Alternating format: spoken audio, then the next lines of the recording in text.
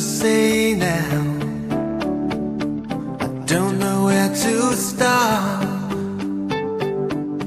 I don't know how to handle a complicated heart. You tell me you are leaving, but I just have to say. Before you throw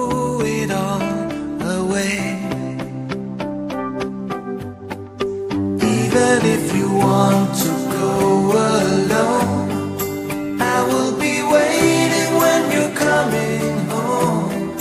If you need someone to ease the